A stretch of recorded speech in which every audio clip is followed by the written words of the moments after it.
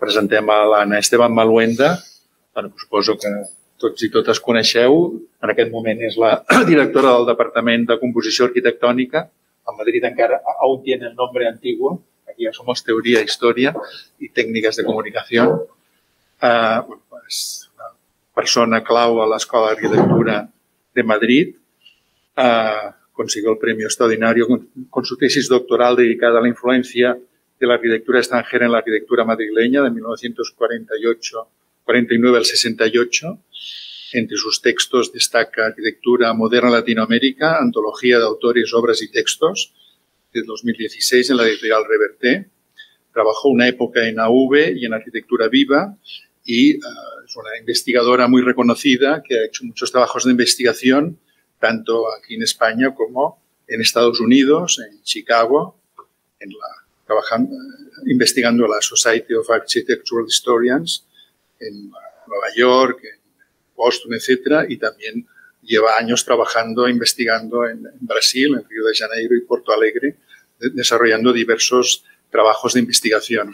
Uno de ellos es el que nos va a explicar, digamos, la interpretación tan interesante, un fenómeno de la arquitectura brasileña el contexto latinoamericano, pero sobre todo la eclosión de la arquitectura brasileña en los años 40 y 50 y cómo ha sido interpretado en revistas internacionales, bueno, está trabajando también cómo fue interpretado en, la, en las publicaciones locales. Un tema realmente interesante de un fenómeno arquitectónico, como encuentra respuesta en las publicaciones. Bien, está, antes ha estado en teoría 1 dando una clase magnífica sobre las teorías de arquitectura desde Vitruvio a Rencojas. Y bueno, los mis estudiantes ya, ya se han ido y no queda ninguno aquí se, se, han ido agotados, los pobres, ¿eh? como para tragarse otras. ¿no? bueno, muchas gracias a Esteban Maluenda. Muy bien, gracias. Gracias a, a, a, vosotros. Es un, es un placer, la verdad, estar eh, siempre en Barcelona y en, y en la eh, ETSAP, ¿no? O sea, que, que bueno, además vengo a, compartir con vosotros un, un, asunto o casi dos asuntos que a mí me, me gustan mucho, ¿no? Eh, uno es, eh, digamos, buscar en las publicaciones, ¿no? Esas referencias, esas, esos cambios, ¿no? Esos, esas eh, maneras de mirar, ¿no? Cómo se, se, se transmiten ciertas imágenes y ciertas iconografías, ¿no? De, de, la arquitectura. Y, bueno, pues el otro tema que, que, a mí me gusta mucho, ya lo ha dicho Montaner, pues es la arquitectura moderna latinoamericana, ¿no? Es un tema que, trabajo desde hace años y que, bueno, pues que me ha dado bastantes, bastantes eh, alegrías, ¿no? ¿Qué vamos a ver hoy? Pues eh, en realidad lo que vamos a hacer es eh, vamos a ver cosas que, son conocidas, ¿no? Eh, porque se ha publicado mucho sobre la presencia eh, latinoamericana, ¿no? En, eh, en, las publicaciones extranjeras, que son las que vamos a, ver, las de fuera de, Latinoamérica. Se ha publicado un poco menos de, la presencia latinoamericana en eh, y todavía menos, ¿no? De esa presencia latinoamericana en, por ejemplo, en libros de historia, pero la cuestión es irlo viendo un poco todo en paralelo, ¿no? Eso sí que es, digamos, eh, eh, lo, que, lo que no se suele hacer, se suelen hacer trabajos más parciales, ¿no? Y entonces ver así como una visión global, general, de cómo se van conectando o no, ¿no? Todos esos medios de, difusión, pues yo creo que al final es, es interesante, ¿no? Entonces vamos a, vamos a hablar un rato de todas esas cosas.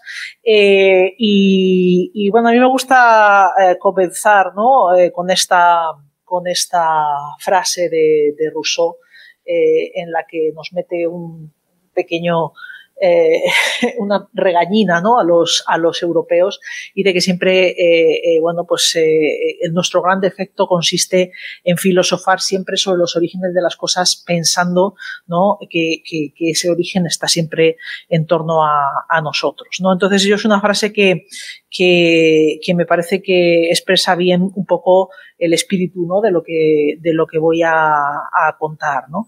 Porque al final, eh, bueno, pues eh, eh, el cómo se contó, ¿no? el cómo se transmitió esa, esa arquitectura latinoamericana eh, a través de esos medios internacionales, ¿no? que al final eran los que tenían más, más difusión, pues eh, la verdad es que fue un poco, un poco triste, ¿no? porque se le dio muy poca importancia se le ha empezado a dar importancia desde hace relativamente poco. ¿no? ¿Qué ocurre? Que los primeros historiadores o, personajes o autores ¿no? que empiezan a, historiar, ¿no? a hablar sobre la arquitectura moderna, pues en el fondo son personajes que son muy, muy cercanos, ¿no? muy afines a, a los, a, los Thiam, ¿no? Entonces, pues eh, Gideon o Hitchcock y, Johnson, ¿no? Eh, actuaron en el fondo eh, más como, como, críticos que como historiadores, ¿no? Porque ellos estaban describiendo un movimiento en el que estaban participando, ¿no? Estaban experimentando. Entonces, ¿qué ocurrió? Pues que contaron pues lo que conocían, ¿no? Lo que, lo que ellos conocían y eso lo que generó pues fue eh, unas lagunas importantes ¿no? en esas primeras textos de, de, historia ¿no? de, la, de la arquitectura moderna. Eso es algo que intentaron solventar, ¿no? A veces ni siquiera lo intentaron eh, en, sucesivas ediciones, ¿no? Pero al final, eh, bueno, pues empezaron hablando, ¿no? Un poco eh, de esos grandes maestros, ¿no? Europeos, norteamericanos, de los movimientos que iban haciendo, ¿no? De, de uno a otro lado de, del, del Atlántico y luego ya pues fueron sumando, ¿no? Por, un, por una parte, pues esos arquitectos, ¿no? Que en un principio no habían considerado, pero que eh, empezaron a, despuntar, y por otro lado fueron sumando eh, o añadiendo arquitecturas construidas eh, fuera de Europa o de los, de los Estados Unidos. ¿no? Pero la verdad es que la, la presencia ¿no? de la arquitectura moderna latinoamericana en la historiografía moderna es más bien una ausencia. ¿Eh? hasta que no eh, llegamos pues, a los años 80, eh, más bien 90, ¿no? en segundas ediciones de, de William Curtis o de Kenneth Frampton, no, no, empieza a haber una, una presencia importante. ¿no? claro, es que mm, se empieza a hablar un poco ¿no? de esto de la arquitectura moderna en, en, la exposición del MoMA, ¿no? en el año 32. Y claro, en esa exposición, pues realmente no es que eh, Johnson y, Hitchcock eh, eh, dejasen de lado ¿no? pues, eh, a Latinoamérica, por ejemplo, ¿no? sino que es que lo que querían era hacer una comparación entre edificios europeos y edificios estadounidenses. ¿no? Lo que pasa que, que, que claro, eh, después eh, o en paralelo no publican el, el, estilo internacional y entonces parece como que lo que ha entrado en ese libro es lo que se supone que es eh, la arquitectura moderna, ¿no? Y, y, y, todos sabemos pues que efectivamente eh, lo, en el índice pues hay, hay muchísimas ausencias, ¿no? En ese sentido, ellos al final lo que están publicando en ese libro es prácticamente lo que habían estado trabajando para la, para la exposición, porque lo, los están construyendo eh, a la vez, ¿no? Así que, eh, por otra parte, ¿no? El, el, asunto de llamarlo estilo internacional, ¿no? Como esa obsesión de Hitchcock, ¿no? Por, por eh, calificar las cosas como estilos, pues al final eh, eh, parece como que es ese, ¿no? Es, eso es la modernidad cuando era algo bastante más eh, complejo, bastante más eh, incluso interesante, ¿no? De lo que, de lo que se estaba contando ahí. Eh, pero esto que, que, que, les pasa ¿no? a, a, Johnson y Hitchcock, ¿no? que parece como que ellos están contando lo que conocen, evidentemente, ¿no? Eh, pero no está ocurriendo a la vez, ¿eh? porque es en el mismo año cuando eh, Sartoris eh, publica este, este libro, el de los elementos ¿no? de la arquitectura funcional, y sin embargo Sartoris sí que se está planteando otras cuestiones. ¿no? Es verdad que es un libro parecido ¿no? al de Hitchcock y Johnson en el sentido de que en esa primera parte ¿no? Eh, eh, describe esos elementos ¿no? que consideraba propios de, eh, la arquitectura funcional y, Hitchcock y Johnson están hablando, digamos, en esa primera parte de, de principios. Y luego, pues el libro lo que hace es construir o, representar o, divulgar ¿no? esa imagen ¿no? Eh, a través de un panorama visual eh, con fotografías ¿no? de, una serie de, edificios, eh, di, digamos, modélicos ¿no? de, ese funcionalismo. ¿no? Eh, entonces, la sorpresa ¿no? es que mientras que veíamos que Hitchcock y Johnson pues, eh, no miraban al sur de su continente, sin embargo, el, el italiano, ¿no? Sartoris, ya publicaba desde, desde la primera eh, edición ejemplos eh, de Brasil, ¿no? Eh, entre otros lugares también poco habituales como, como Japón y como, y como Persia. Particularmente eh, de, Brasil, eh, Sartoris mostraba la, casa modernista, ¿no? como dicen ellos, de, Gregory Warszawski en, Sao Paulo, que es bueno, pues un ejemplo de arquitectura moderna construido en Latinoamérica, pero que viene eh, de Europa, ¿no? de, la emigración de, de pero que encajaba, claro, perfectamente en esos cánones ¿no? marcados por el, por el estilo eh, internacional. La cuestión es que tres años después Sartoris saca una segunda edición del libro y, entonces aumenta la, la, panorámica latinoamericana a otros dos países, a Argentina, ¿no? donde mostraron ejemplos de León Dorch, de eh, José Luis eh, Ocampo, de eh, Vladimiro Acosta, eh, de Mario Vidal, es bastante eh, completo, ¿no? El, el, dossier en ese sentido, y además suman otro nuevo país, ¿no? Aparece también este, este edificio de Uruguay, ¿no? Esta villa. Y la cosa no se queda ahí es que en 1941, además de estos países ¿no? que ya eh, habían aparecido, eh, Argentina, Brasil y Uruguay, siguió aumentando ¿no? los casos latinoamericanos a Chile, Cuba, México y Venezuela. ¿no? Es verdad que eh, algunos de los proyectos le pasa como, como le pasaba con la casa de, de Warszawski, que son arquitectos foráneos que en un momento dado eh, construyen ¿no? o se desplazan ¿no? o, viven eh, a partir de ese momento en Latinoamérica, pero realmente la, la cantidad ¿no? que vemos de, de, arquitectura latinoamericana en el año eh, 41 pues no es nada despreciable, ¿no? Y sobre todo se diferencia mucho de lo que veíamos en el caso de Johnson y, y, y Hitchcock. ¿no? En realidad, eh, todos estos libros no son historias ¿no? de, de la arquitectura, son fotolibros, ¿no? Eh, eh, tratados fotográficos, ¿no? En los que el contenido más importante pues, son las, imágenes, ¿no? Eh, y además, entre esa primera versión del 32 de Sartoris y esta tercera del, del 41, pues fueron apareciendo lo que sí que podemos considerar ya, pues, digamos, textos. Que son parte de esa historiografía, fundacional de la arquitectura moderna. Entonces, eh, bueno, pues uno de los que aparece es el de Pevsner, el, el Pioneros, ¿no? Eh, todos sabemos ¿no? que Pevsner lo que hacía era presentar el movimiento moderno como una especie de saga, ¿no? eh, caracterizada pues, por el rechazo al, eh, historicismo, ¿no? Y, y, además sabemos que, bueno, pues que en el año 49 hace una segunda eh, edición en inglés en la que lo único que hace es eh, cambiar, ¿no? a pesar de todos los años que habían transcurrido entre el 36 y el, y el 49, lo único que cambia es prácticamente el título, ¿eh?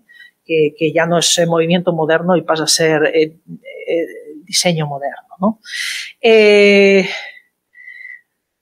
Estamos en la década de los 40, a principios de, la década de los eh, 40, eh, la situación en Estados Unidos eh, con la, guerra a partir del 33, que es cuando se produce la conferencia eh, pan, panamericana, Estados Unidos había incluido a, Brasil y a México, había implantado lo que se denominó la política de buena vecindad con los países latinoamericanos, y entonces en, en plena Segunda Guerra Mundial, la estrategia económica y política de, Estados Unidos miraba hacia México y hacia eh, Brasil como dos aliados fuertes ¿no? dentro de toda esa, esa unión ¿no? que, vemos en los, en los pósters estos de, de, la guerra. ¿no?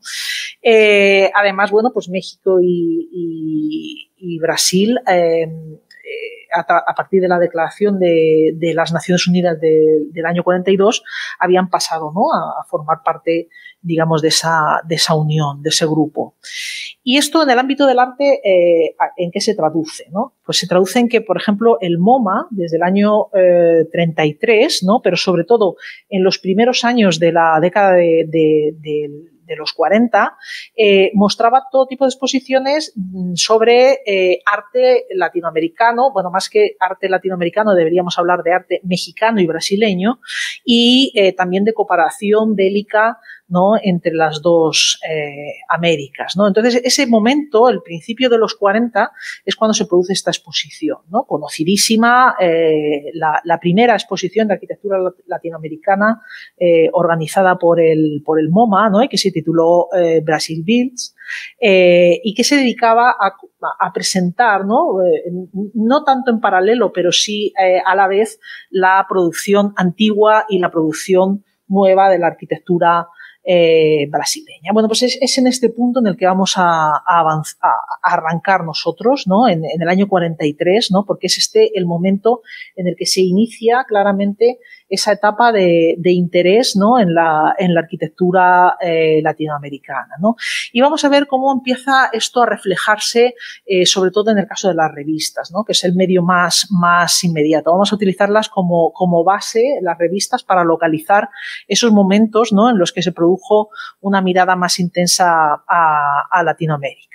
Bueno, entonces si dibujamos eh, una línea de tiempo, ¿no? Que arranca en el año 43 con esa exposición Brasil Builds, recorre eh, tres décadas, ¿no? Luego vamos a ver por qué nos paramos en el 73, que no es porque sea 30 años, sino por otra razón bibliográfica. Y entonces medimos eh, la cantidad de, de artículos ¿no? y, de, y, de, páginas que, que, se están publicando en las revistas internacionales, en las revistas externas ¿no? a Latinoamérica, eh, básicamente de Europa y de, y de y de Estados Unidos, ¿no? Eh, resulta esta distribución, ¿no? Que estamos viendo en, esa gráfica. En color rojo estamos viendo el número de artículos, en color eh, gris pardo estamos viendo el número de páginas, ¿no? Y, este punto alto, ¿no? Que se, que se ve ahí son más o menos las 2.000 páginas, ¿eh? En 1950. He dibujado las dos gráficas eh, simplemente para que eh, podáis ver que, se parecen mucho, ¿no? Es decir, están escaladas, pero se parecen mucho y, ahora borro la roja, me voy a quedar solamente con la del número de páginas que siempre resulta un poquito más, exacta, ¿no? En cuanto a hacer pues este tipo de, mediciones, ¿no? Eh, entonces, bueno, añado alguna exposición más del MoMA, de esas que decíamos de, de arte eh, iba a decir latinoamericano, mexicano y brasileño, ¿no? En esos primeros años 40 y estamos listos para volver a situarnos ¿no? en, Brasil Builds en el año 43. Eh, la, exposición se hizo eh, o se inauguró, mejor dicho, el 13 de enero de, de 1943 y eh, en ese mismo mes las revistas estadounidenses Architectural Record y la New Pencil Points, que es la que luego derivaría en eh, Forum, eh, pues publican artículos importantes ¿no? ya sobre la arquitectura eh, brasileña. Son ejemplos en los que se cita el viaje que hizo el fotógrafo Kider Smith, el conocido fotógrafo de, de eh, que trabajaba para el MoMA y que, fotografió ¿no? la arquitectura brasileña para esa exposición del MoMA. Y básicamente ambos artículos se centran no en lo tradicional, a pesar de que en el que estamos viendo arriba, ¿no? el de Architectural Record, la primera imagen es como la arquitectura colonial, pero sin embargo luego cuando se pasan las páginas, pues está centrado en la arquitectura moderna. Es decir, lo que les estaba interesando de esa eh, exposición Brasil Builds no era lo antiguo, sino lo moderno que estaban publicando. Es lo mismo que le pasa unos meses más tarde a Rudowski cuando se preguntaba de nuevo en la, en la revista New Pencil Points, eh, eh, decía, ¿cómo es posible que no nos hayamos enterado de que está ocurriendo esto en Brasil? Eh, y, además decía, ¿y quiénes son estos arquitectos brasileños que trabajan tan callados, ¿no? que no nos estamos enterando de esto que están produciendo? ¿no? Eh, aparte de la sorpresa, ¿no? que es eh, interesante ¿no? detectar que en un momento dado bueno, pues, se sorprenden por, por la calidad que, te, que, que tenía esa, arquitectura o por la propuesta distinta que hacía esa, arquitectura. Eh, yo creo que lo interesante de esto es ver que Rudowski también lo que le interesa es la arquitectura moderna, no, lo que se está eh, mirando del pasado. Bueno, la cosa es que en ese año 43 se publican eh, pues eh, eh, algunos artículos más en los Estados Unidos hablando de la exposición. curiosamente, en, menos de un año, y a pesar de que en Europa ya está la o sea, está todavía la guerra pues, en marcha y, fuerte, en, Europa empiezan a, hablar ya de Brasil. No hablan de, Brasil Bill, porque ya se ha pasado la exposición, entonces no, no se va a publicar en las, en las revistas, ¿no?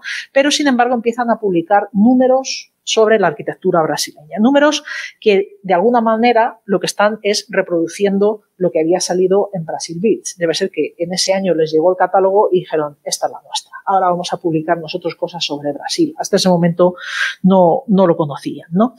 Eh, este es el primer número que tenemos localizado en el que se habla sobre arquitectura eh, brasileña en, en en Europa es en eh, una revista de estudio que no es una revista de arquitectura, es una revista de arte eh, en general y, bueno, pues eh, se, publica en el mismo 43, ¿no? A finales del año 43. La parte destinada, ¿no? O dedicada a la, arquitectura reproducía un poco ese esquema de Brasil Builds, ¿no? Dos artículos independientes, uno estaba dedicado a, la arquitectura colonial y otro a la, a la nueva arquitectura, ¿no? En, el, artículo que vemos a la izquierda, que es el de la colonial, que está firmado por eh, Joaquín de Sousa Leao, eh, eh, apenas se reproducía una de las fotografías que salía en el, Brasil Builds y sin embargo en el de arquitectura moderna todas las fotografías que se reproducen en, el número tienen que ver con eso que se había publicado en el, MoMA, ¿no? Son esas fotografías de, de, de Kidder Smith. Bueno, pues de estos dos articulistas, el de la izquierda, el Joaquín de Sousa Leao, es el que eh, eh, publica, repite, ¿no? En el que ya sí que podemos considerar que es el primer monográfico dedicado íntegramente a la arquitectura brasileña en una revista Arquitectura Europea, ¿no? Que es un número de, de, Architectural Review, es el de marzo del año 1944, eh, que de nuevo utiliza esas fotografías ¿no? que se habían lanzado en eh, la exposición de, del MoMA. De hecho, la, la portada, ¿no? esa portada que eh, mm, no está reflejando la arquitectura, ¿no? está reflejando como la belleza natural de Copacabana ¿no? Eh, y, bueno, mirando ahí hacia, hacia los morros, ¿no? los característicos morros de, Río de Janeiro. Y, entonces es esta, ¿no? esta fotografía de, del paraje natural que además era una de las fotografías ¿no? que aparecían eh, al principio ¿no? de ese catálogo de Brasil Beats. Es decir, que ese número que hacen en The Architectural Review es directamente algo tomado ¿eh? de, de Brasilville. Tanto que eh, no solamente es que se estén reproduciendo, no estamos viendo a la izquierda eh, Brasil Builds, a la derecha estamos viendo eh, el número de, la, de AR, ¿no? Y entonces están constantemente, ¿no? Trasladando esos contenidos de forma tan clara, ¿no? Como incluso, bueno, pues trasladando lo que son la, las páginas de, de, los índices, ¿no? Y las primeras páginas de ambas, de ambas publicaciones. Bueno, entonces empezamos a colocar todo esto ¿no? sobre esa línea de tiempo y vemos cómo eh, la cantidad de páginas ¿no? dedicadas a Brasil, que son ahora, está, las, vamos a ir pintando en verde ¿no? sobre ese fondo gris, ¿no? que es eh, la totalidad de Latinoamérica. Eh, entonces, bueno, tiene como un auge ahí, un, una buena cantidad en el año 43, baja un poquito al siguiente, al 44, luego se desploma, pero de repente empieza a subir de nuevo. ¿no? Y es que empiezan a aparecer otros Eh, eh, la eh, Progressive Architecture, que es como luego la, que se estaba llamando New Pencil Points, ¿no? Aquí ya ha cambiado de nombre. Y entonces publica un artículo de muchas páginas, de más de 20 páginas, sobre esa ciudad de los motores de, de CERT. Y, luego, bueno, pues hay una, una de las revistas francesas, la Techniques, es, hace como una especie de, de mm, dossier ¿no? sobre eh, arquitectura en el extranjero y también lo dedica a Brasil. Pero sobre todo el subidón ¿no? que, pega aquí, digamos, eh, la, información es porque eh, la arquitectura de Yului entra, entra en, el juego ¿no? latinoamericano. Y entonces publica un monográfico dedicado a, Brasil. ¿no? Es un monográfico del año 47 ¿eh? es decir, que, hace apenas cuatro años, ¿no? que ha sido, eh, el, digamos, el, la salida ¿no? que, marca el, em, el Brasil Builds. Y luego vamos a ver que eh, unos años más tarde pega otra subida, luego se desploma ¿no? y pega otra subida que es provocada por un nuevo monográfico de la arquitectura eh, dedicado a Brasil. Vamos a detenernos un momento en estos eh, monográficos, ¿no? eh, este es uno de los momentos más importantes ¿no? que hay de la, de la difusión de Brasil en, Europa. ¿no? Bueno, se llevan pocos años, pero son dos números muy diferentes. El primero está muy basado ¿no? en esa estela ¿no? que habíamos visto de, del eh, Brasil Builds. Otra vez aparece la misma fotografía ¿eh? que se está repitiendo en todas las publicaciones, ¿vale? Y eh, eh, el segundo, ¿no? Eh, esto lo que, lo que, lo que marca, ¿no? En el fondo, la aparición de este, de este primer eh, monográfico es como una especie de, de, cierre ¿no? de esa influencia ¿no? que tuvo Brasil Builds en, en, las publicaciones periódicas. Y ahora vamos a ver un poco cómo cambian los contenidos ¿no? entre el primero y el, y el segundo. Si miramos al primero, que es el de, el de arriba, el que está, digamos, dibujado en, en rojo, estamos publicando eh, digamos, viendo quiénes son los arquitectos ¿no? que, se, que se publican, vemos lo primero que, que en el segundo eh, hay muchos más, es decir, eh, el primero es un número iniciático ¿no? en el que están dando ciertas bases, en el segundo ya se despliega ¿no? un aparato de, de la actualidad. ¿no? Y, y, además, bueno, pues vemos que eh, eh, lo que no cambia es mm, eh, a quienes dan más importancia, ¿no? Eh, que es a Niemeyer y a los hermanos eh, Roberto, que eran unos arquitectos muy importantes por ese, por ese momento, y, también en el segundo siguen siendo, digamos, los que se les da una mayor importancia. Si hablamos de localizaciones, de ciudades a las que se dedican, pues en el primero está claro que Río, ¿no? Es como la, la, la ciudad ¿no? que están eh, divulgando. Eh, es verdad que aparece ahí eh, ¿no? por todas las cosas de Pampulla, de, de Niemeyer, eh, y aparece bueno, la ciudad de los motores, pero eso es porque es una cosa puntual que de repente le dedican mucha, mucha, muchas páginas. ¿no? Sin embargo, cuando vemos en el, en el segundo eh, eh, esquema, en esta segunda gráfica, eh, que el Río de Janeiro está eh, igualado ¿no? ya con Sao Paulo. Es decir, que eh, en esos pocos años han cambiado mucho las cosas y sobre todo lo que se está contando ya no es como esa especie de presentación de Brasil ante el mundo, sino que ya es, eh, bueno, pues una actualidad, ¿no? Eh, se suman muchas más cosas. Bueno, una cuestión importante, ¿no? A resaltar, pues es también el cambio que se da en los países que miraban hacia Brasil. ¿no? Eh, dibujamos ahí una gráfica del interés estadounidense, es decir, eh, los estadounidenses es como que eh, se quedan fascinados con Brasil Builds, pero luego ese interés decae. ¿no? Y entonces luego de repente entra Francia, ¿no? y Francia eh, se convierte en el gran productor, ¿no? Vemos que casi rellena la gráfica, ¿no? El, el gran productor de información de, Brasil, ¿no? Y es básicamente debido a esos eh, eh, monográficos, ¿no? Que va eh, preparando. Sin embargo, entre monográfico y monográfico eh, francés, ¿no? Pues son los, británicos los que van ahí eh, manteniendo un poquito ese, interés a través de, bueno, un par de dosieres que publica la AR. El primero de ellos eh, lo hace un chico, ¿no? Que, que, había estado trabajando en el estudio de Niemeyer, por supuesto, publica eh, la obra de, Niemeyer, acompañada de la de Afonso Eduardo Caillí, que eh, son a los que considera, pues, dos de los mejores representantes ¿no? de los avances en esa arquitectura moderna en Brasil. Y el segundo es un muy conocido dossier, este es uno de los, de los textos que, que yo creo, o, de los, de los trozos ¿no? de revista eh, que hablan sobre Brasil, que, que, que, yo creo que se ha hablado más de ello ¿no? en, en trabajos y es eh, eh, un, un, informe ¿no? que se hace, un dossier que se prepara con opiniones de varios arquitectos extranjeros que habían publicado, eh, que habían, perdón, visitado la Bienal de Sao Paulo, ¿no? Entre ellos estaba Max Bill, que eh, sale espantadísimo, ¿no?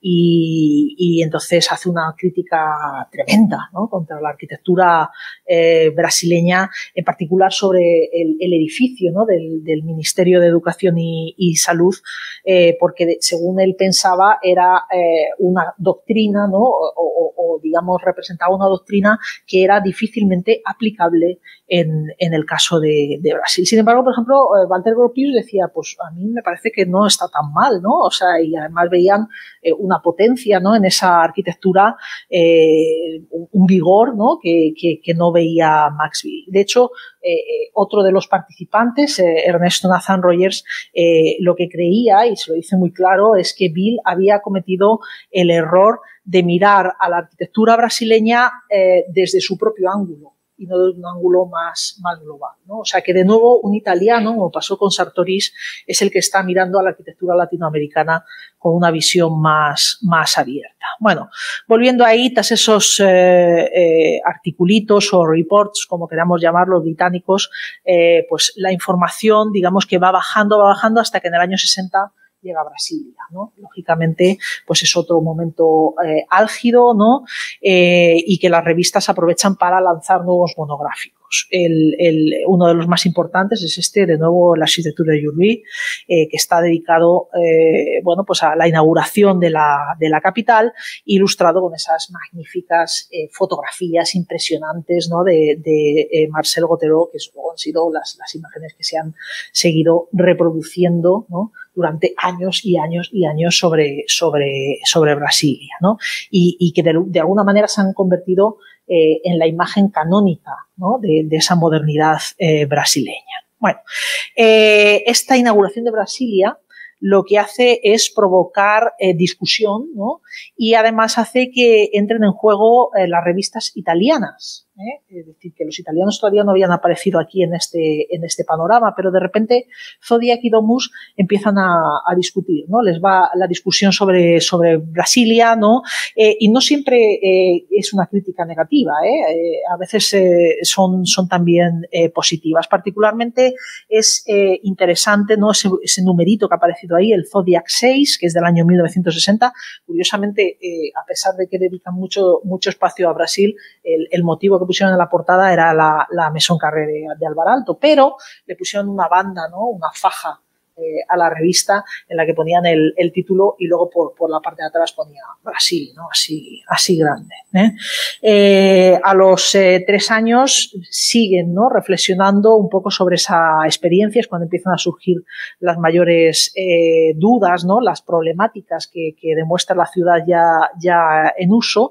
En el año 64 aparece este número de Ajokui Arts and Architecture, que es un, un, un número un poquito desconcertante porque eh, eh, está contando cosas muy antiguas, ¿eh? no, voy a, incidir mucho más en, ello. y cerramos, ¿no? Pues este momento de Brasilia con otro número italiano ¿no? de la revista Domus, que es ya del año 66, en el que también es un recorrido visual, ¿no? Es decir, al final lo que están lanzando es esa imagen, ¿no? Esa, esa impresión ¿no? que, pro, que, provocan esas construcciones ¿no? de esa ciudad un tanto desolada, ¿no? pero, pero con esos, esas referencias impresionantes ¿no? Eh, arquitectónicas. ¿no? Eh, al final, ¿qué ocurre? Pues que efectivamente la estela ¿no? que provoca Brasilia es bastante mayor que la que generó eh, Brasil Beats. ¿no?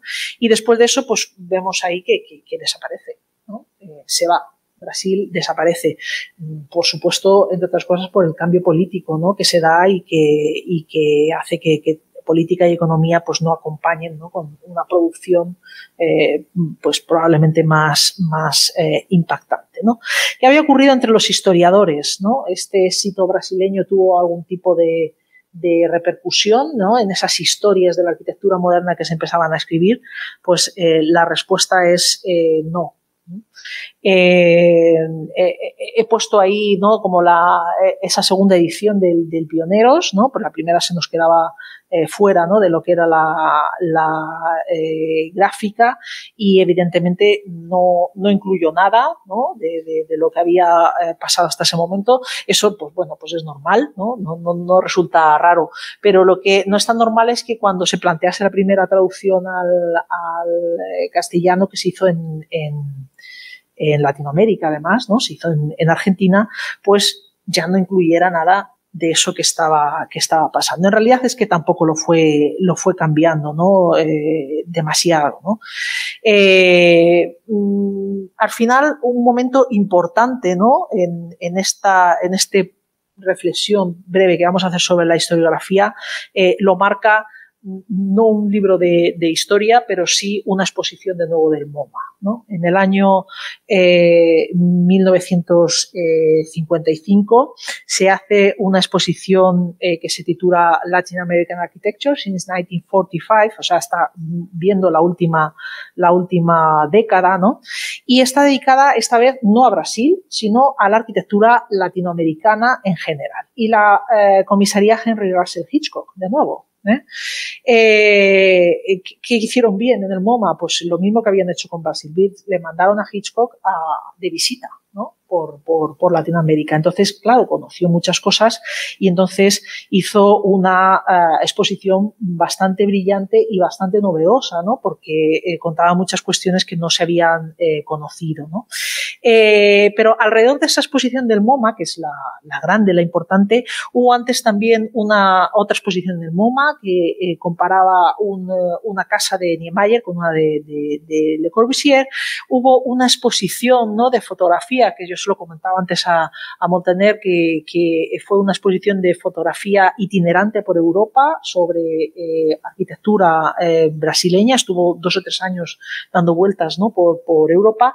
Y eh, después, ¿no? pues también se aprovechó la Interbau de Berlín para mostrar una, una exposición también sobre, sobre Brasil que se denominó Brazilian Baut Brasilia, ¿no? otra vez construyendo ¿no? Eh, Brasil, ¿no? como pasaba con el Brasil Beats. Bueno, eh, es decir, que entre las revistas y las exposiciones era donde se estaba moviendo el, el tema. ¿no? Eh, estaba yo con Pevsner, ¿no? Y decía que no, que no había escrito, que no había escrito nada, que no había incluido nada en ese, en ese pioneros, casi mejor, porque sí que se le ocurrió em, eh, eh, meter alguna, algún comentario, ¿no? En otro libro que, que, que, había publicado en el 42 y en el año 57, eh, ¿no? Cuando, cuando saca una quinta edición, ¿no? De ese, de ese panorama ese Outline of European Architecture, eh, eh, incluye un capítulo. Es curioso, ¿no? Que, en el libro que llama Panorama sobre la arquitectura europea sea donde incluye un, capítulo que no habla de Europa, ¿no? Pero bueno, eh, salvando esto, pues em, eh, realmente eh, aquí Persner sí habla de, arquitectura latinoamericana brevemente. Eh, en realidad no es de latinoamericana, es de Brasil y, digamos que el tono que utiliza y las frases que dice realmente hacen pensar que tiene una especie de prevención ¿no? en contra de esa arquitectura brasileña, ¿no? que es en realidad la única que, que menciona. ¿no? Entonces él decía que en Brasil era el país donde se encuentran eh, eh, de un modo más concentrado la fascinación y los peligros de la irresponsabilidad de mediados de siglo. O sea, es, bastante eh, demoledor, ¿no?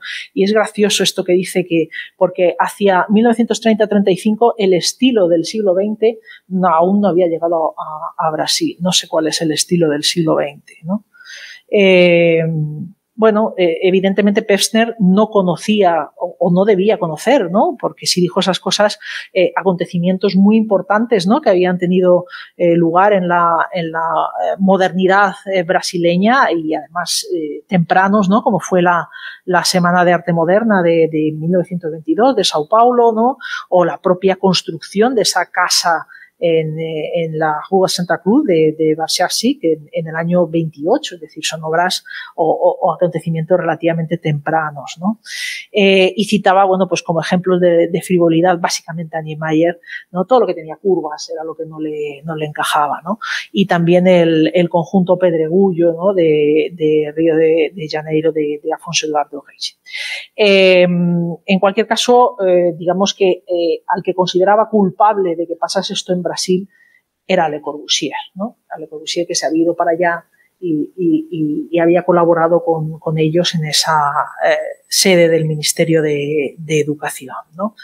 Eh, bueno, al menos reconocía que esa irracionalidad brasileña eh, no era propia solo de la arquitectura brasileña, sino de muchos más eh, países. ¿no? así que resulta llamativo que, que, que Persner mantuviese ¿no? esta, esta cuestión, sobre todo cuando empieza a hacer esas traducciones ¿no? al, al, al castellano y además, curiosamente, cuando, cuando se hace esa, segunda ¿no? edición de esas, de esas eh, traducción al castellano, el que le está ayudando y el que le está revisando es Francisco Bullrich, ¿no? Entonces, que era, que era, es como curioso, ¿no? Eran amigos, eran amigos, ¿no? Y de hecho, Persner escribe cartas en las que dice que se acuerda con alegría cuando compartieron alrededor del año 60 esos momentos tan felices en Buenos Aires, ¿no? Entonces, claro, eh, eh, es raro que no le dijera eh, eh oye, eh, Nicolaus, que, que, te estás equivocando, ¿no? Que hay muchas más cosas, ¿no? Aparte de esto de los, de los, eh, de los brasileños, ¿no? Bueno, Vamos a, dejar de hablar un poquito de Pevsner ¿no? y de su obsesión por, Le Corbusier y esos discípulos ¿no? que había encontrado ahí. Eh, rápidamente eh, revisemos el Gideon. No nos cabe la primera edición en, en, la tabla, pero sí que estamos poniendo ahí esa segunda edición ¿no? del año 49. Gideon de, de alguna forma también hablaba de la saga, ¿no? aunque eh, introducía bueno, pues eh, otras cuestiones, ¿no? Como esa importancia que le da a, a la, a, a, la ingeniería, ¿no? Y a, y a, y a ciertas eh, cuestiones que, que Persner no, no, no planteaba, ¿no? Eh, luego siguió haciendo otras ediciones, esa que estamos viendo ahí, como digo, es, eh, es la, la, segunda, ¿no? Del año 49, pero hasta la del año 62, ¿no?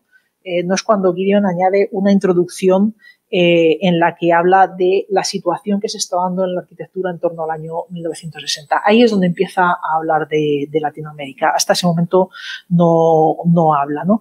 Y luego es verdad que eh, donde añade realmente es en, en la del año 1967. ¿no? Es decir, que habían transcurrido 26 años ¿no? En los que se publicó esa primera edición y claro, dices, pues sí, añade cosas, pero la verdad es que añade eh, poquísimo, ¿no? Esto lo voy a lanzar bastante rápido, eh, porque eh, es verdad que habla un poquito de que, de que están surgiendo ¿no? nuevas arquitecturas que están, digamos, fuera de, de, Europa, que se adaptan ¿no? a esas regiones en las que se están eh, implantando, ¿no? y lo digo entre comillas porque no estoy de acuerdo con la, con la afirmación, eh, pero, eh, y a esto es a lo que él llama, ¿no? Y define en ese momento como nuevo regionalismo, ¿no? Es decir, que de, de ahí viene, ¿no? Todo lo que luego desarrollan más tarde, pues, Frampton y, y, y demás. Eh, y, y, bueno, pues, eh, eh, eh, contaba, ¿no? Como ejemplo de esas eh, arquitecturas nuevas, pues eh, cuestiones que se estaban haciendo en Oriente y en Finlandia y eh, Brasil, ¿no? Para él esas construcciones, ¿no? Que se estaban haciendo en, en esos países tenían que ver, ¿no? Por un tema también político. Y, nada, habla un poquito de, Brasilia, ¿no? Estamos recorriendo un poco el libro para que veáis que es una cosa súper, súper reducida, ¿no? Eh, no habla prácticamente de, otras obras, habla un poquito de, algunas obras en Latinoamérica que, están siempre hechas por arquitectos extranjeros, eh, habla de Félix Candela, habla de eh, Eduardo Torroja, habla de José Luis Sert en Chimbote, Eh, y, bueno, pues, pues eh, poco a poco, ¿no? Pues va eh, introduciendo pequeñas, pequeñas cositas, ¿no? En ese, en ese capítulo, pero son contenidos muy, muy pequeños. Algo se, se saca de, de, Miss Van der Rohe en México, unas menciones muy pequeñas, ¿no? A, a esos proyectos de, de Le Corbusier en, en Río, ¿no? Y en, y en Buenos Aires. Bueno, así que tampoco podemos decir que fuese eh, Gideon, ¿no? El que, el que trajese Latinoamérica, ¿no? A la, a la historia, ¿no? O a la, o a la historiografía. Bueno, lo que resulta más, más eh, llamativo, ¿no? No es, es eh, no tanto que no Mm, introdujese demasiados contenidos, eso lo podemos entender, pero lo que no podemos entender es que no lo hiciese cuando él había escrito el prólogo de este libro, ¿no? que es eh, un, una historia de la arquitectura moderna brasileña elaborada por Midlin.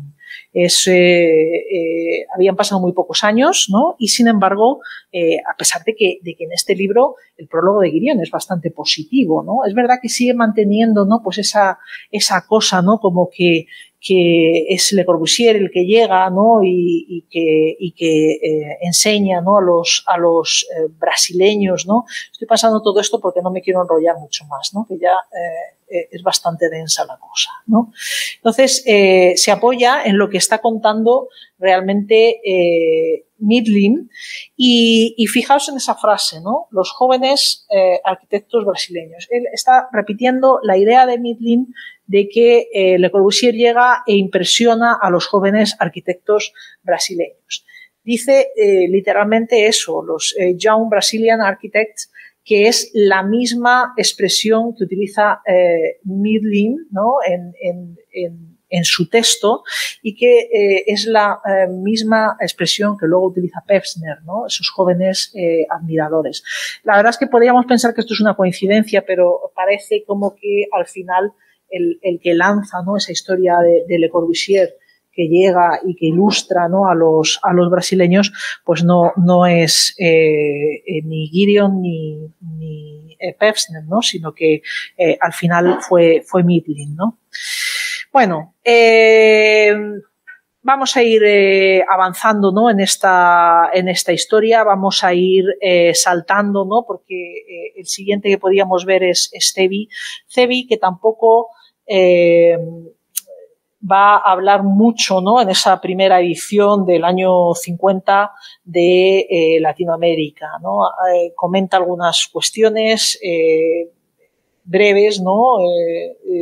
De que sí que se están haciendo cosas fuera de, de, Europa, a pesar de que Cebi quería romper, ¿no? Pues con esto de la saga, ¿no? Que habían planteado los, los eh, anteriores, ¿no?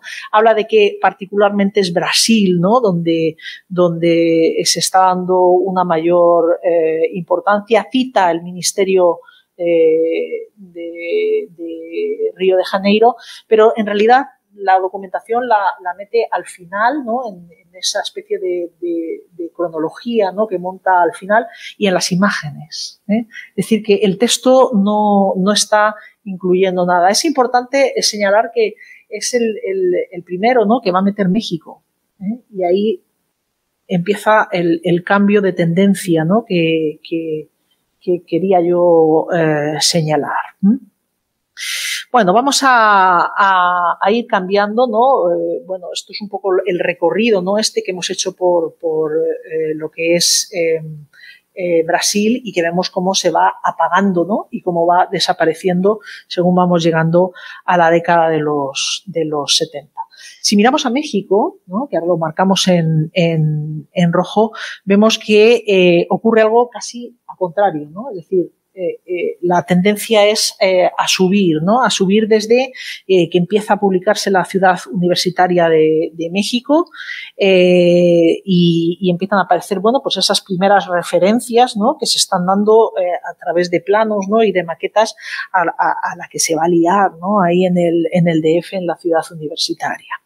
Entonces, bueno, aparecen ahí unos primeros números de la arquitectura de Urbi, pero es Arts and Architecture, la, estadounidense, la que empieza a lanzar ¿no? pues esas imágenes de edificios de la ciudad universitaria, esas fotografías ¿no? de obras de, también de, de, Candela y también con la ciudad universitaria ya terminada, pues desde AR, desde eh, The Architectural Review, eh, pues ponen esa, esa, portada, ¿no? Con los eh, obreros trabajando en el magnífico ¿no? mural de Diego de Rivera del Estadio Olímpico. ¿no? Eso lo que anuncia es que dentro hay un gran artículo ¿no? sobre, sobre la ciudad universitaria. Bueno, em, eh, eh, la ciudad universitaria evidentemente fue como la, carta de presentación ¿no? que, abrió México al, mundo eh, y luego es verdad que, eh, se había publicado ¿no? una, portada dedicada a Barragán ¿no? en, en Arts and Architecture, lo que pasa es que como Barragán Luego se hizo muy famoso cuando le dieron el Pritzker, pero en ese momento como eh, él hacía poca obra, era toda muy buena, pero, pero hacía poca obra, entonces aparecía poco en los, en los medios, ¿no? Todo tiene una, una explicación. Bueno, ahí hay un momento como importante en lo que es la, la ciudad eh, eh, universitaria y siguiendo un poco esa estela, ¿no? Esa, esa primera contacto con México, pues enseguida la arquitectura de Yurdi lanza un monográfico un monográfico dedicado a la arquitectura eh, latinoamericana que aparecería unos meses antes de eh, pues la gran exposición esta que estábamos viendo del, MoMA, ¿no? Y que lo que hacen es marcar pues otro momento importante. ¿eh? Vamos a, ver un segundito algo de, esta exposición del MoMA. como decía antes, el acierto fue que eh, mandaron a, Hitchcock de viaje, ¿no? Y entonces eh, se vio todos esos países. No fue un recorrido de dos días, ¿eh? le mandaron ahí y recorrió todo. Y entonces le, gustó muchísimo. Le gustó muchísimo la arquitectura que vio y además se lo debió pasar muy bien a juzgar por las cartas, porque le recibieron fenomenal en todos los, países. ¿no? Entonces, justo después de terminar esa exposición, ¿no? que saca el catálogo, pues luego prepara este, este libro. Y este es realmente el primer libro o la, primera historia ¿no? de, la arquitectura eh, moderna, ¿no? porque se dedica al, al, 19 y al 20, en el que eh, Latinoamérica tiene una presencia mm, real y digo real porque no es como tal vez es que parece como que está ahí pegado pues unas fotografías, un no sé qué, sino que eh, Hitchcock va contando cosas de Latinoamérica a la vez que está contando cosas de, otros lugares, ¿no? Entonces, es decir, lo está incorporando, ¿no? De alguna forma en, en la historia, ¿no? Pero es que además en la parte final de esa primera edición del año 58, ¿no? Que es un libro magnífico, eh, eh, lo que hace es lanzar todas las imágenes al, al, final, pero no las lanza organizadas por países ni, ni nada parecido. Lo que está haciendo es jugar, ¿no? y comparar. Y nunca está mostrando Latinoamérica eh, eh, eh, por separado, sino que la está comparando con, bueno, pues con otros ejemplos, ¿no? Este, este, esta es una bonita apertura, ¿no? De ese, de ese final del libro. Y está, bueno, pues la ciudad de, México, la ciudad universitaria, pues con la Universidad de Oros, ¿no? bueno, pues va, está todavía no entendido muy bien. porque la compara, ¿no? Pero bueno, pues eh, eh, está haciendo un juego. Tanta importancia le da Latinoamérica que eh, la última imagen ¿no? de todo ese dossier de imágenes es el, edificio polar ¿no? de Vegas y, Galia, el de, el de, Caracas. Y esto me sirve para, también para hacer notar que, ya tenemos a Venezuela por ahí. ¿eh? O sea, que, que, no solamente estamos hablando de, esto. Bueno, voy a ir rápido, ¿no? Colocamos ahí el, el libro, eh, por ahí aparece Benévolo, ¿no? En el año 60, Benévolo que eh, no, no habla, ¿no? De, de Latinoamérica, eh, pero mm, ahí aparecen otros, ¿no? Otros eh, historias o, digamos, eh, volúmenes ¿no? de teoría e historia, en esos no se habla nada, ¿no? en los de la década de los 60, pero volviendo un poquito a Benévolo, eh, mm, es verdad que Benévolo en sí, él no habla de, Latinoamérica, pero eh, bueno, pues ya sabemos que cuando hacía ediciones, ¿no? y sobre todo cuando las hacía en, traducciones ¿no? a otras lenguas, pues iba pidiendo a gente que le hiciera capítulos ¿no? sobre esas arquitecturas. En el caso de, por ejemplo, de España, pues fue Carlos Flores el primero y, y, y luego, en el caso de Latinoamérica, le tocó a Montaner, que, que, en ese momento, según hemos hablado alguna vez, todavía no había sido a, a, Latinoamérica. ¿no? Y sin embargo, vamos, no es porque esté ahí y le quiera hacer la pelota, pero eh, eh, eh es un buen capítulo de, de libro ¿no? sobre Latinoamérica. O sea, que, que lo bueno que tiene Benévolo es que él no pretendía contar las cosas o, saber de todo, pero sí que luego hacía encargos, ¿no? Entonces va sumando algunas cosas y, la única pena es que, claro, que, ese capítulo sobre Latinoamérica solamente está en la edición española, con lo cual al final se divulgaba en Latinoamérica, pero no se divulgaba en el resto del mundo, ¿no? Que era de lo que, de lo que se trataba. Bueno, eh, como os decía antes, bueno, pues eh, lo, digamos que esas historias o esas teorías, ¿no? Que hay en los años 60 no se dice nada, absolutamente eh, nada, probablemente porque, bueno, pues están pasando cosas en, Latinoamérica que, despistan, ¿no? Sobre, sobre esa arquitectura o porque no se puede producir, ¿no? Por los problemas políticos, económicos que están eh, viviendo, por ejemplo, en, Brasil, ¿no? Y eh, bueno, habíamos eh, marcado, ¿no? Esas, esas cosas en la gráfica. Esta la voy a pasar rápido porque no se me va a ver. Y vamos a ver eh, también cuál es el caso, por ejemplo, de, de Candela, ¿no? Esto le va a interesar a, Ramón, ¿no? Eh, y, el caso de Candela, pues es muy curioso porque mmm, Candela no aparece en muchas eh, publicaciones europeas, ¿no? digamos como arquitecto, sino como colaborador de otros arquitectos, y sin embargo donde sí que le dan muchísima importancia es en Estados Unidos. En Estados Unidos, bueno, pues empiezan a hablar de la obra de Félix Candela, les, impacta, ¿no? Y, bueno, esto lo vamos a ir viendo un poquito en la, en la gráfica esta que tenemos en la, en la, parte de arriba, como en el año 55, pues casi todo lo de Candela se ve en, Estados Unidos. Luego ya va apareciendo por ahí Francia, ¿eh? ya empiezan a, darse cuenta de que, de que existe eh, Candela.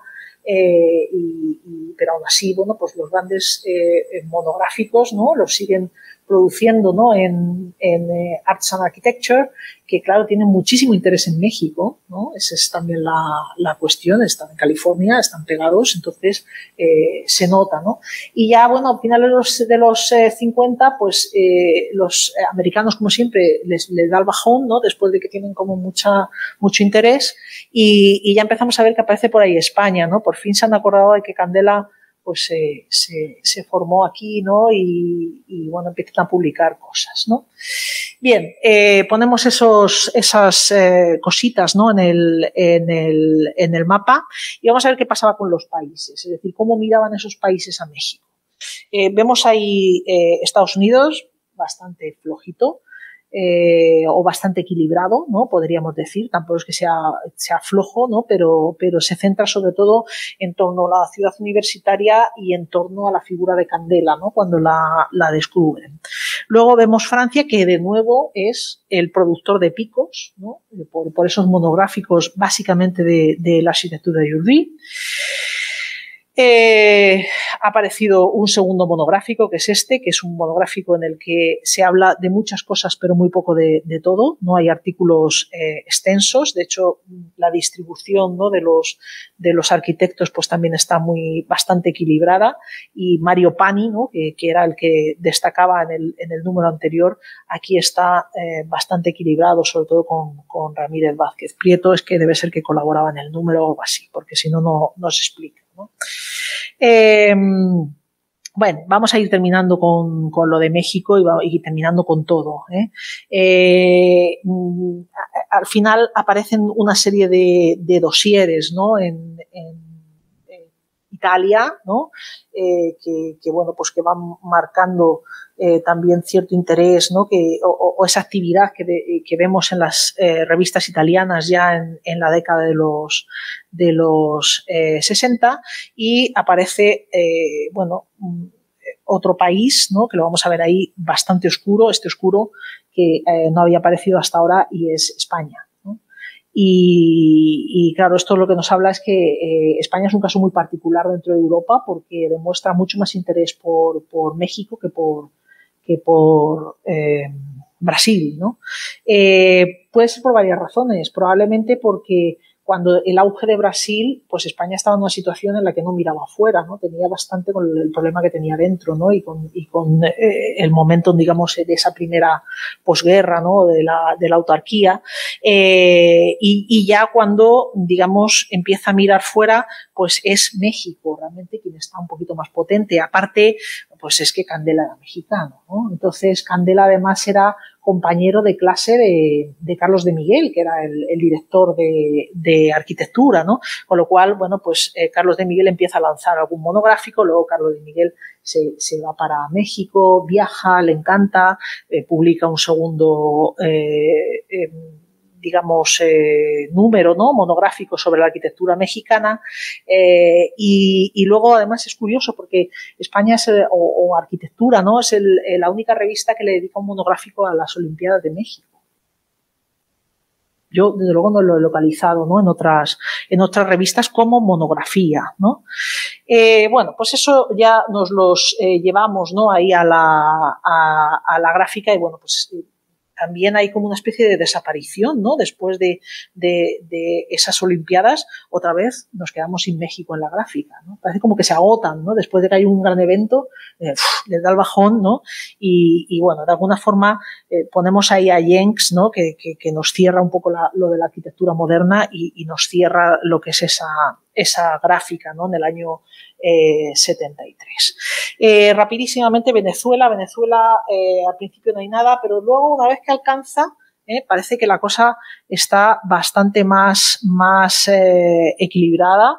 Eh, justo cuando es la exposición del MoMA de, del año 55, aparece ahí un, eh, monográfico de la arquitectura de Yurduy que está dedicado a países cálidos y ahí aparece Venezuela con mucha fuerza. ¿eh? Estamos viendo en verde Brasil, en rojo estamos viendo eh, México y en amarillo Venezuela. ¿no? Y entonces mmm, vemos que, que, la presencia venezolana en ese número es importante, o sea que arrancan con, bastante, con bastante fuerza. ¿Qué pasa, no? De nuevo con los países. Ahí están los estadounidenses, que casi no se, no se les ve. Bueno, pues igual, ¿no? Parece como que tienen más interés al principio, pero enseguida eh, decaen, ¿no? Eh, tenemos también a los franceses otra vez haciendo picos, ¿no? Marcando esos, esos monográficos, ¿no? De la, de la arquitectura de Louis. Los eh, británicos, que no es que, es que no se ven, o sea, quiero decir que es que prácticamente no, no le dedican espacio. Eh, y, luego aparece eh, Italia. ¿eh? Italia lo vemos ahí, un poquito más, más oscuro. Le dedican atención sobre todo por Gio Ponti, que construyen en Venezuela. Y, bueno, esto es un poco el, el resumen. ¿no? no vamos a mirar más países, sí que me gustaría dedicar bueno, pues estos últimos minutos a sacar adelante esto es España, ¿eh? el último que ha, que ha, aparecido, que al final sí que tiene eh, interés, ¿no? Y va ganando interés a lo largo de los, de los años. Eh, lo que sí que me gustaría sacar unas mínimas eh, conclusiones, ¿no? Sobre todo esto, porque esto ha sido como una especie de, de, hemos ido lanzando, ¿no? Encima de la mesa, pues un montón de cuestiones y, y yo creo que, bueno, que, que, mirando un poco la gráfica sí que se pueden sacar, sacar cosas, ¿no?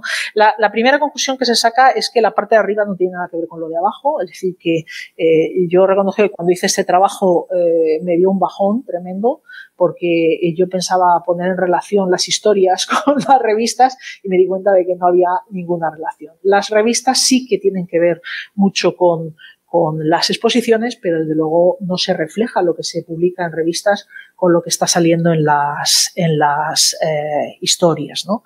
Eh, el único que, que, sí que digamos incluyó Latinoamérica en las historias fue eh, Hitchcock, ¿no? En ese libro del 58, que a mí me parece que, luego es una pena, ¿no? Porque según va publicando eh, eh, ediciones ¿no? siguientes, pues va quitando cosas de Latinoamérica. También es verdad que es que, claro, que en ese momento estaba impresionado, entonces mete muchísima información que luego ya, bueno, pone, pone un poco más en, en entredicho. ¿no? Pero bueno, eh, es el único que realmente de todas las historias podemos decir que, que contempla eh, Latinoamérica ¿no? en, el, eh, en el MoMA. ¿no?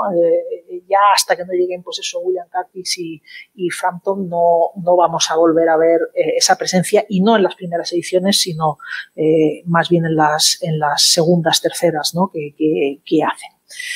Bueno, eh, en, las revistas hemos visto que eh, el caso de Estados Unidos ¿no? se ve irregular, pero pero ahora, ahora se va a ver mejor. Eh, Estados Unidos casi siempre es el primero que hace esa divulgación de cosas de Latinoamérica por el interés que tienen ciertos países y luego decae enseguida. ¿no? Y luego vemos Francia, ¿no? Francia vemos que es que es constantemente picos, ¿no? Son los picos de, la arquitectura de Yulby, ¿no? Que al final eh, es donde está reflejado gran parte de esta, de esta historia. Gran Bretaña, pues hombre, está ahí, ¿no? Pero vamos, tampoco podemos eh, sacar eh, demasiado, ¿no? Y luego lo que sí que vemos son eh, la aparición, ¿no? En esos últimos años de eh, Italia y de España, ¿no? En esa eh, difusión de lo que es Latinoamérica. En cuanto a los países, bueno, pues vamos a ver una, una distribución, van a ir saliendo pelotitas, ¿no? pelotitas de colores, la verde eh, es Brasil, el, rojo no es México y el amarillo es, Venezuela. Entonces vemos como eh, eh, pues al principio, ¿no? A partir de Brasil Builds, pues lo que vemos es una presencia brasileña importante. Bueno, ahí aparece la ciudad universitaria y, o los prolegómenos, ¿no? Pero Brasil, ¿no? Es el que está dominando durante eh, todos esos eh, 40, 50, y aparece México ya, es cuando aparece la ciudad universitaria, ¿no? Y, y cuando eh, eh, empiezan a aparecer, ¿no? Los otros países, ¿no? Año 55, ese es el, el, el monográfico, ¿no? De la arquitectura de Jordi, claramente, pero vemos que Brasil está perdiendo fuerza, ¿eh? Y sin embargo, México está eh, ganándola, ¿no? Salvo excepciones, y, y Venezuela igual, ¿vale? Entonces, eh, al final, Brasil de alguna manera va eh, desapareciendo ¿no? de esa, de esa eh, gráfica y, eh, bueno, pues al final eh, México también va perdiendo y, y se nos queda Venezuela. ¿Vale? Eso es un poco el, el resumen ¿no? de todo esto que hemos, que hemos estado eh, viendo. ¿no? Entonces, bueno, detectamos ¿no? en toda ese, esa gráfica pues, varios momentos de eh, especial interés ¿no? en, en, Latinoamérica. El primero es ese que decíamos que tiene que ver con Brasil Builds y con su, con su estela, ¿no? Eh, que podemos decir que se alarga hasta el primer monográfico de, de la arquitectura de Yurui. Eh, en ese momento la imagen de la arquitectura latinoamericana no es la imagen de la arquitectura latinoamericana, es la imagen de la arquitectura brasileña. ¿eh? Eh, no se habla de, la, de Latinoamérica, se habla solo de Brasil. Luego, alrededor de los años 50, 51, 52, ¿no? Es eh, eh, en los que Brasil ya está muy asentado, ¿no? En esas publicaciones eh, periódicas europeas, pues Estados Unidos se, se, olvida, ¿no? Y entonces se fija en México. Y, y México se cuela en ese imaginario, ¿no? Con, con la ciudad universitaria. Es, es de nuevo eh, Estados Unidos el que inicia ese interés por México, por Félix Candela, ¿no? Aunque eh, es verdad que la emoción de nuevo le dura, le dura poco, ¿no? Entonces, a esa imagen exótica, ¿no? Que se había transmitido de la arquitectura latinoamericana por el caso brasileño, ¿eh? exclusivamente, se une ahora una imagen más tecnológica ¿no? y, también de eh, urbana, ¿no? en el sentido de las, de las ciudades eh, latinoamericanas. ¿no? Estas ideas ¿no? que, que, que, ya están ahí presentes se asientan alrededor de la, de la nueva exposición del, del MoMA ¿no? del año 55. Es la, la, primera vez que aparecen otros países, ¿no? como Venezuela, y a partir de ese momento digamos que no, no, pierde, no pierde fuelle. Eh, luego viene la, construcción de Brasilia, ¿no? la construcción y la discusión ¿no? de, Brasilia. La influencia aquí se alarga por más de, cinco años. En principio, bueno, pues eh, eh, lo que hay aquí es una imagen de progreso, ¿no? de, una arquitectura con posibilidades de un desarrollo mayor que lo que se está haciendo en el viejo continente. Pero claro, las críticas ¿no? que recibe Brasilia nada más inaugurarse y también unido ¿no? a lo que es el cambio político y económico ¿no? que vivió el, país, pues eh, hicieron desaparecer a Brasil drásticamente ¿no? de este mapa de, de la difusión. ¿no? Y a partir de ese momento la gráfica decae ¿no? para todos los países, aunque México pues, pues tendría su, momento ¿no? ahí eh, alrededor o, finalizando ¿no? con esa, esas eh, Olimpiadas de, México. Hay otros casos, ¿no? otros casos interesantes. Puerto Rico es un caso interesante. ¿no? Eh, ¿Por qué? Pues porque está, claro, muy mediatizado por Estados Unidos. ¿no? Entonces, es un caso interesante y particular. ¿no? Argentina, es curioso parece poco Argentina, ¿no? En los, en los medios, casi eh, hasta, hasta que no llega el, concurso del edificio Peugeot del año 1960, eh, prácticamente no, no, no, aparece, ¿no? Más que eh, con cosas puntuales. Bueno, y, pero lo que, lo que es curioso es cómo desaparece, ¿no? Todo se va diluyendo ahí a, principios de los, de los 70. Bueno, es la desaparición que tiene al final la arquitectura moderna, ¿no? Es decir, son años de crisis, años en los que se está eh, buscando otras, otras eh, salidas, ¿no? Se está eh, planteando un cambio de, paradigma y, por tanto, bueno, pues se está superando, ¿no? Esta modernidad que, aunque estemos hablando de la latinoamericana, pues efectivamente formaba parte de toda esa, de toda esa corriente. Ya está. Muchas gracias.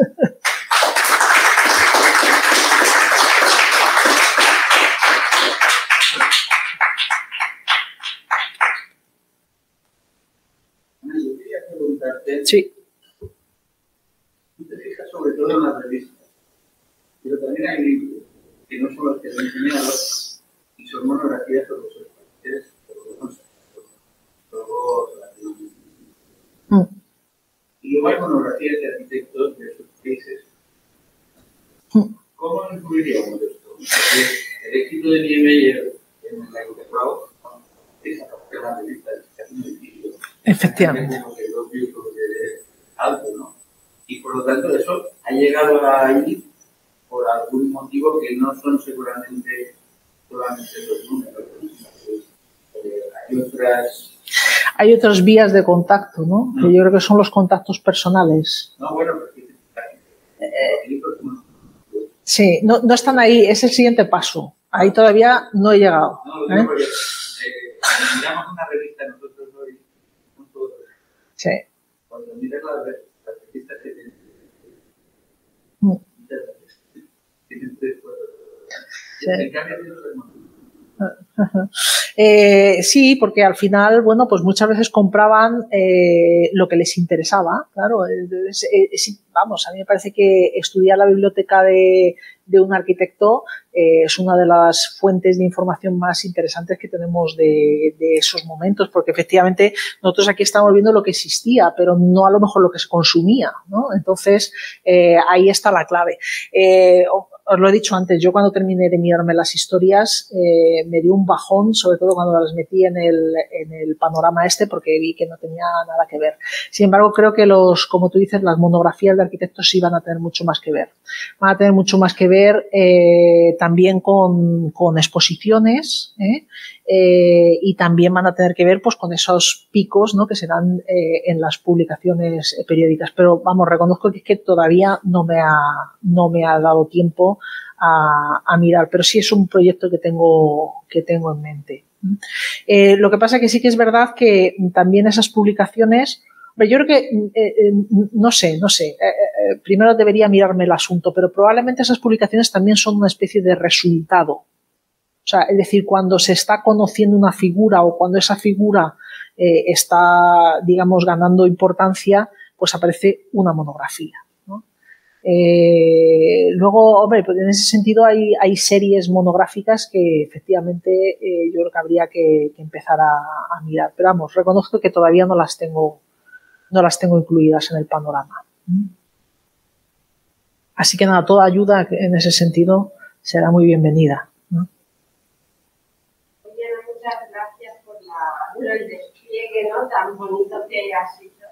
Canciones fenomenal. Yo sí que me quería comentar, porque, uh, bueno, dicho, yo creo que al final es un libro que realmente no debe tener influencia ninguna, pero, pero son unos coches impresionantes que Sartori, ¿no? aparte de, esto, de los elementos, este libro así como tan temprano, después hizo su enciclopedia de la arquitectura mundial por climas y allá hay un tocho que debe ser de, las finales de los 50, no sé si 58, dedicaron como clima americano y ahí hay una recopilación de 1.200 fotos, sí. ¿no?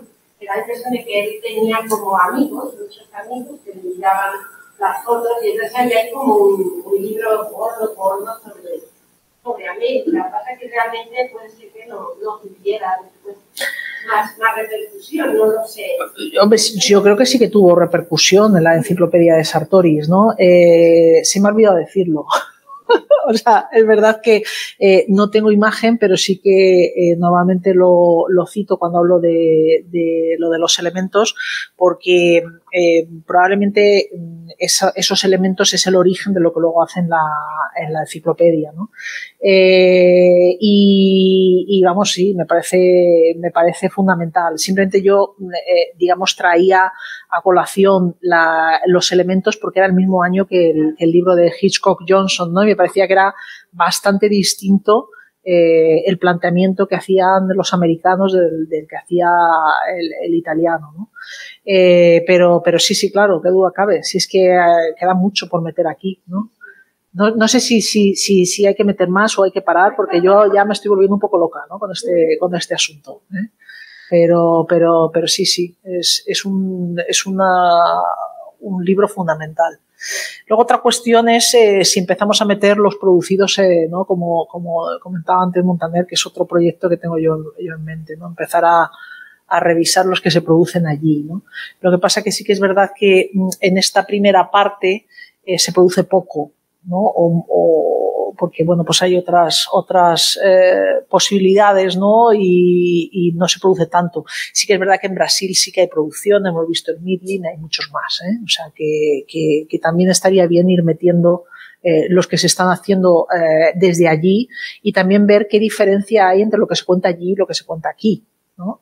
Eh, curiosamente yo mantengo una, una cuestión y, hasta los amigos brasileños ya no me van pegando ¿no? cuando se la digo y es que, que esa idea ¿no? de, de, que es Le Corbusier el que va a Brasil y que es una cosa fabricada desde el propio Brasil, es decir, ellos, a ellos lo que les interesaba es sentirse parte del mundo, ¿no? Entonces, eh, es esa historia, pero anda que no hay eh, arquitectura moderna interesante, ¿no? En, en, en Brasil eh, antes de que, de que llegue Le Corbusier, ¿no? O sea, lo de Le Corbusier es un, probablemente a lo mejor, pues sí, un punto, ¿no? En el que de repente, pues, eh, enmarca un cierto interés, ¿no? Porque ha ido Le Corbusier, ha visto no sé qué y ha, ha, ha propuesto tal, ¿no? Pero, pero hay muchas cosas, muchas cosas antes. Bueno, muchos proyectos, muchas cosas para sumar y para hacer. A una cuestión, sí.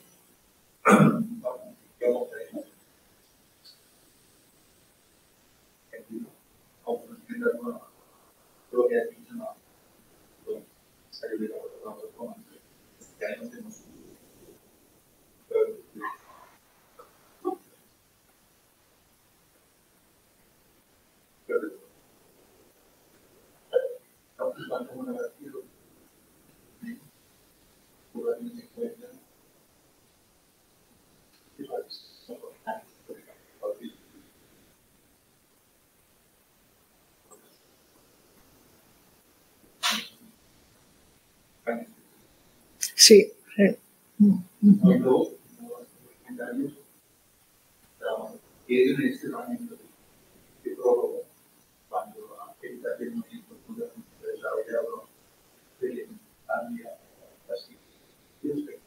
Mucho. Sí, sí, sí. Sí, sí, no, y además dice que son eh, como provinciales, dice, provinciales, ¿no? Que si entendemos provincial como, eh, no como provinciano, sino como periférico, pues todavía, pero claro, eh, según lo leemos nosotros, eh, nos lleva a pensar que es una cosa provinciana, ¿no? O sea, que no, es, duro, es duro, Guiria, sí, sí, sí, sí.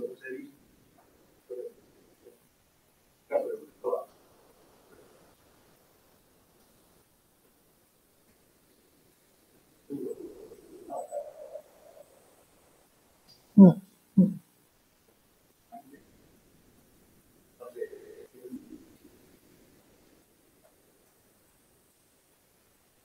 うん。Sí, bueno, no, sé si tarde, cuando eh, lo curioso, a mí lo que me resulta curioso es que, eh, eh, bueno, no en la primera, que es en el año 50, es un año muy, muy inicial, ¿no? Pero, por ejemplo, luego Cebi eh, viaja a Latinoamérica de una manera relativamente frecuente, ¿no? Y, y tarda bastante en, en, ir incorporando Latinoamérica en el, en el discurso. Es verdad que cuando miramos las últimas ediciones, pues, está muy bien, ¿no? Pero, pero al principio, pues tampoco. Sea, tampoco le da mayor... Eh, aunque es el primero que empieza a meter cosas, aunque sea en el resumen o en la cronología que hace el final, aunque sean las imágenes, ¿no? Pero, es verdad que empieza a, meter eh, cosas. Lo que pasa es que de una forma un poco, mmm, bueno, sesgada, ¿no? A mí, a, mí el que más me convence de los, de los primeros es el Hitchcock, ¿no? Y, y luego, pues lo que he comentado, ¿no? Pues que es una pena que luego va perdiendo fuelle, ¿no? Llegó muy contento, muy feliz del viaje, muy impresionado, pero luego va, perdiendo un poquito de, de fuelle, ¿no? También es cierto que después de haber viajado a, Latinoamérica y haber visto cosas que le, dejaron eh, impactado, ¿no? Pues hombre, pues también surgen figuras que eclipsan, ¿no? No sé qué, o sea que eh, cuando él va eh, eh, haciendo las, siguientes ediciones, pues va incorporando otras cosas, va quitando, ¿no? Pero bueno, a mí esa primera edición me parece que es interesante sobre todo es como un ovni, ¿no? En todo este panorama de, señores que no hablaban nada de, Latinoamérica y de repente aparece Hitchcock, eh, pues, eh, diciendo cosas buenas, ¿no? Cosas bonitas.